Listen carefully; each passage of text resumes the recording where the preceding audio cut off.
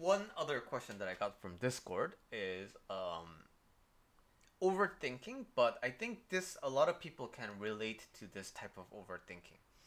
So I'll give you the full question and the context first. Hi guys, I have a huge question about my life, like goal in life. My goal in life is to publish the story that I like to the whole world, and I hope people love my story. It sounds like my goal of life is to please people, want to get attention and love from people. But I'm not sure if I'm overthinking and judging too much of my goal. But here's the reason I stop. Do I enjoy story writing? Or do I want to please myself and prove myself somehow? Do I want to continue story writing?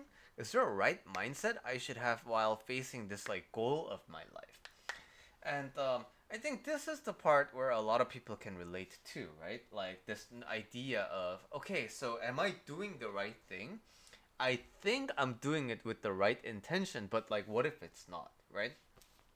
And um, to give you the quick answer of how I answered this question is, uh, whenever I think about, you know, uh, is this people pleasing or not, or whenever I think about what I genuinely want or not is I think of the scenario where what if no one's out there who is gonna do this?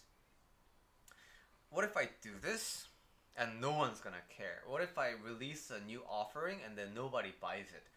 What if I make this video and nobody watches it? Even then, am I going to make it? Even then, am I going to do it? Then I do it. And because why? It's not dependent on other people. It's just something that I want to do, right? So, suppose nobody wants to game with me. Am I still gonna play a game? Yeah, I love video games. That's how I know, right? So, um, if your uh, life goals seem like it's dependent on other people, a quick way to evaluate it is would I do this if no one was there? Would I do this if no one gave me the approval that I wanted? Would you know if the that approval that I would like to get? Am I still going to do it? And that's sort of how I feel about YouTube, right? That's how I feel about um, live streaming um, like this. So I don't care if people watch it. I'm just doing it for me, and that's why I do it. And uh, it's nice to kind of think of. Oh, it's nice to think about this things from this perspective because when other people and external influences keep driving your decision making, the more and more you do it, the more you lose your will and your initiative on life. And the more you start living for other people, the less enjoyable it becomes to live for you. Because you keep finding yourself doing things to please other people. And you know what? I'm gonna admit, I was the biggest people pleaser in the world too, right? So I understand that when other people are pleased with you and they're happy with you, it feels super nice. But I think I talked about this a few times before.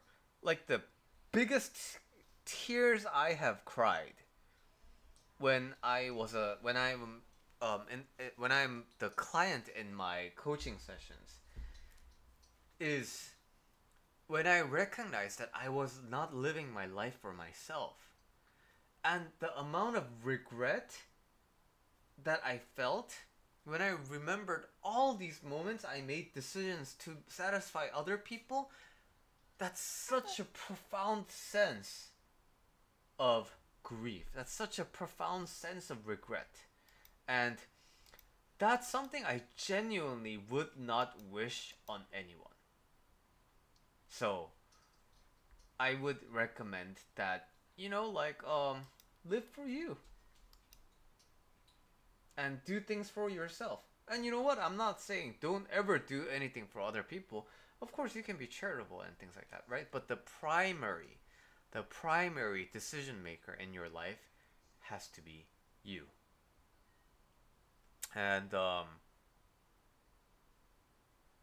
yeah, that's about it. Say hello to my dog right here.